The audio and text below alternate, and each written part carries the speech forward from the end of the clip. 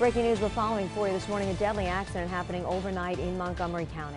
Our Skylar Eagle live on that location right now with what we know so far this morning. Skylar, what can you tell us? Ryan Christina, one person is dead after this motor vehicle accident here in Amsterdam. The crash causing closures on both ends of Route 5 between Truax and Cranes Hollow roads. Fire departments were redirecting traffic earlier this morning between those two roads.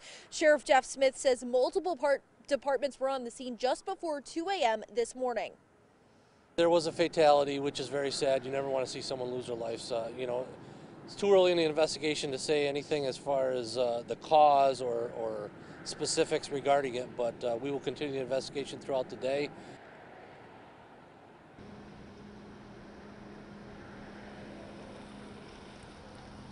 The road here is now reopened. Crews clearing the scene just moments ago. You can see that traffic starting to move along here behind me. As Sheriff Jeff Smith said, that investigation still ongoing. We'll keep you posted as we continue to learn more. For now, reporting live in Amsterdam, Skylar Eagle, News 10, ABC. Thank you, Skylar.